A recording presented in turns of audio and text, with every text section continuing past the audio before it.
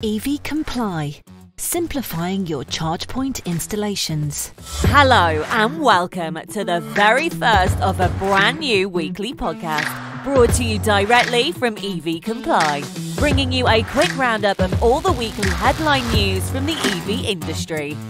So they say, before there was electricity, there were torch moments. And ironically, this company has managed to combine the two. YourParkingSpace.co.uk is an online marketplace that markets and manages over 65,000 parking locations UK wide. Now, it's launched together with Atlas Hotels to create a pre bookable charge points pilot. That is a mouthful. Now, the idea is to offer bookable charging points alongside parking so the customer will be secure that once they arrive at the destination, they will be able to recharge. Now, over the next 12 months, 250 charge points will be installed at properties operated by Atlas Hotels, who are the largest franchisee of the Holiday Inn Express hotels in the UK. Now, continuing the theme of innovative ideas, Volkswagen have embraced a very interesting marketing campaign using electric drones to showcase their electric cars. I know, genius.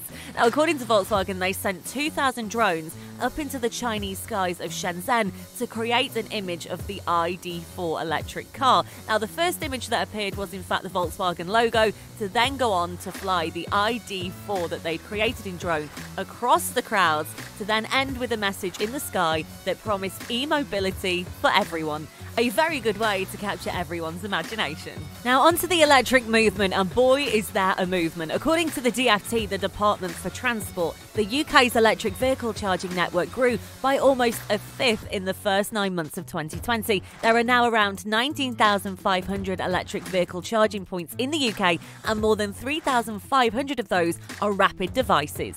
So, no matter what your political view, if you're in the EV game, you'll be pleased to hear that President elect Joe Biden has proposed a 2 trillion climate agenda that includes provisions with climate priorities in transportation infrastructure, spending to reboot cash for clunkers in the interest of modernising the fleet towards cleaner vehicles. If you love Bentley, you are going to love this. Bentley plans to make its entire lineup plug in hybrid or all electric by 2026, so not long to wait. And they're going to switch entirely to battery electric vehicles by 2030. Now, the electrification push is part of Bentley's plan to become end to end carbon neutral by 2030, and we reckon they'll do it. So, out with the old and in with the new. Dutch train stations are getting a makeover that includes replacing their old ashtray posts with new electric bicycle charging posts. I'm not sure how the smokers feel about that, but here at EV Comply, we think it's a brilliant idea. I'm guessing you've heard the UK has announced plans to move up ban on ICE cars to 2030.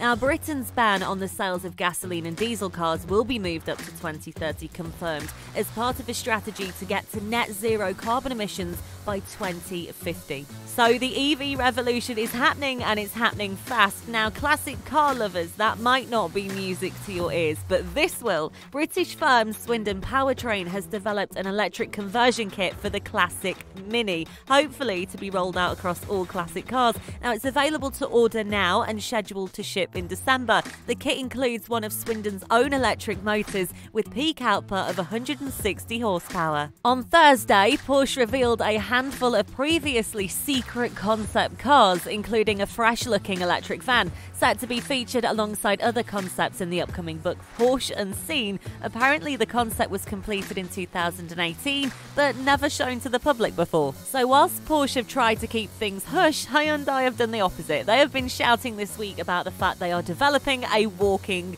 car, focusing on ultimate mobility vehicles. Dr. John Scher, Hyundai's VP, will lead the new studio and explains it really quite simply. He says, We aim to create the world's first transformer class vehicle. It literally is a robot in disguise. Thank you so much for that, John. we cannot wait. Now, the first car to be developed by Hyundai was shown at last year's Consumer Electric Show, the Elevate. Now, the vehicle does not rely solely on wheels and is expected to address challenging driving situations where you may need to walk. And to round things off, Tesla goes on a crazy hiring spree. It adds a thousand sales and delivery people in two months. The automaker also changed its strategy and focused on hiring part time employees. So that's all from me and your latest EV roundup from everyone here at EV Comply. Have a top day and thank you for listening. You can catch this and all future podcasts directly on our website ev-comply.com. And if you'd like to submit a story or content, then please email podcast at ev-comply.com.